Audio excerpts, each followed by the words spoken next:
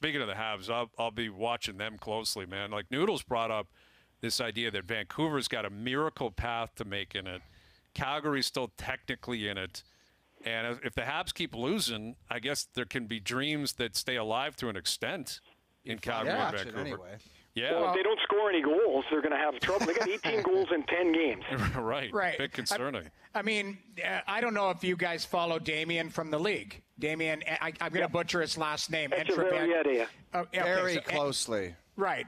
So if you if you look every night, he puts out a chart of like games left.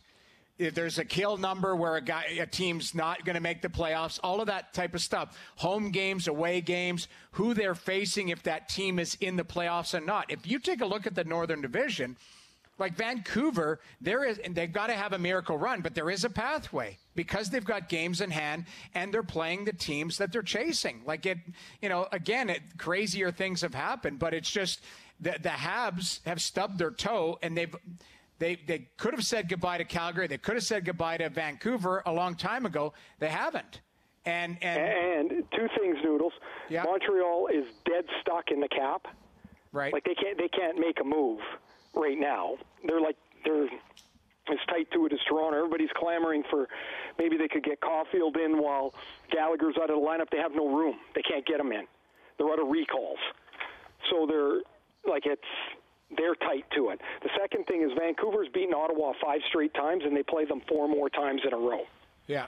I don't even know. I don't even know what to expect from Vancouver, so I'm going to keep my mouth shut because I, I, I think at some point the schedule is going to is going to kneecap them. But they've got a chance. What if they win three out of four from Ottawa, and and Montreal struggles here through the next couple of games again? They're they're going to be in they're going to be in a they're going to be in a chance here. They're going to Wow, have a chance incredible. rather. And, Yeah. and guess what?